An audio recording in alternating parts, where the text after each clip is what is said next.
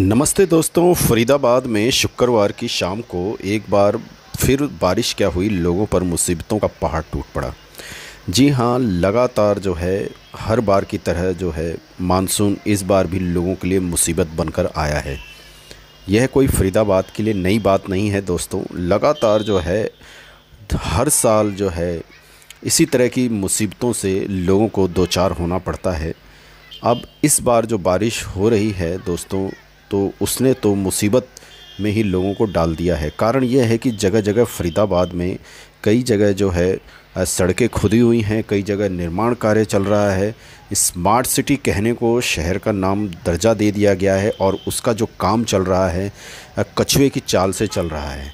तो उस कारण से जो है लोगों को काफ़ी मुसीबतें झेलनी पड़ रही हैं और उसके ऊपर से अगर बारिश हो जाए तो दोस्तों आप समझ सकते हैं, इस समय हम आपको जो है शुक्रवार की शाम को जो सात, साढ़े सात बजे के करीब जो बारिश हुई है और आठ, सवा आठ के बाद जो बारिश रुकी है, उसके बाद जो है लगातार जो है शहर में कई जगहों पर जाम देखने को मिला।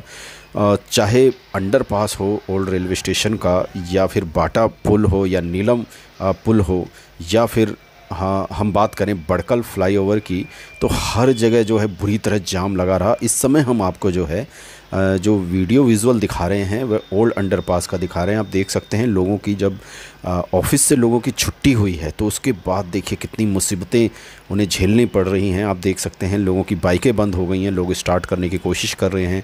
कई वाहन यहाँ पर खड़े हैं, इस असमंजस में हैं और गैस कर रहे हैं कि क्या हम इस पानी से निकल सकते हैं।